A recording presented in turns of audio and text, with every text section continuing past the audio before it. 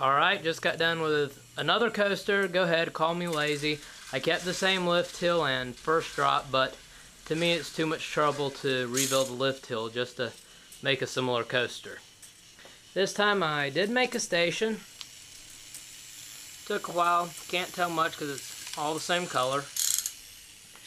This is based off of Vekoma rather than a B&M. All the elements, the I guess that's a butterfly loop. I'm not too sure. And the Cobra Roll are both new to my building, so they're not not great by any means.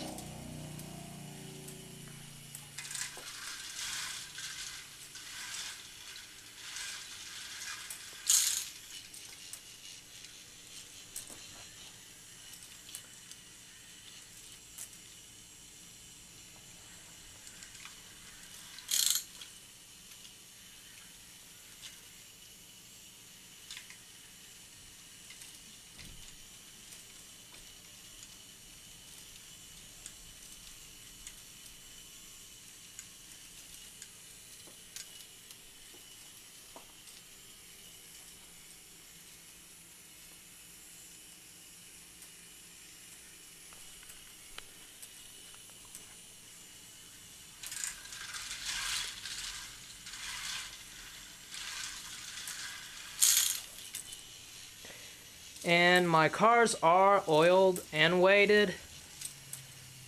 And let's see, I was going to say, oh yes, I have also entered the, I think it's the Train of Thought competition on SCC. And this is what I'm working on for that right now. So hopefully that, and that coaster will, I will begin to build that as soon as this one comes down, which will not be much longer at all. And the main lift hill motor just died, so guess that's all I'm going to be showing you of it. Thanks for watching.